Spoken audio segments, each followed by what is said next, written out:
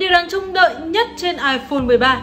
Chi tiết mà chúng mình nhắc đến đó chính là phần tái thỏ. Thứ vốn đã tồn tại từ năm 2017 trên iPhone X, Tuy tạo nên một vùng khuyết khó chịu trên màn hình hiển thị, Nhưng vì những hạn chế về công nghệ, Người dùng đã phải sống chung với thiết kế dị hợm này suốt 3 năm trời. Qua hình ảnh do gì thì chúng ta có thể thấy Apple đã làm được điều này thông qua việc rời loa thoại lên sát phần khung máy Và tiến hành sắp xếp các thành phần quang học liên quan đến tính năng Face ID ngay bên dưới cũng có những tin đồn cho rằng Táo Khuyết đã đầu tư hơn 390 triệu đô la Mỹ vào một công ty chuyên nghiên cứu và phát triển các đèn laser và máy quét hồng ngoại. Những thành phần chính giúp cho Face ID hay có tên là Finistar và từ đó thì có thể thu nhỏ phần tai thỏ của iPhone 13 với kích thước như hiện nay.